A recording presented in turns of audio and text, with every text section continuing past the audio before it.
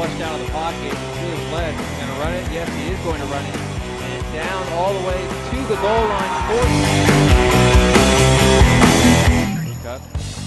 Looking now. Prukop's going to keep it. Bounces out to the right side. At the 25, at the 20, at the 15, at the 10. Still on his feet at the 5. He's going to go into the end zone for the touchdown. Touchdown. Surveying the field and he's going to look to throw. Looks into the end zone and is caught by Brandon Brown for the touchdown. Prukop finds Brandon Brown in the back of the end zone. Snap. And Prukop back to throw, looking out the flat. He's complete at the 10, at the 5, into the end zone for the touchdown. If I'm not mistaken, John, that was Brandon Brown on the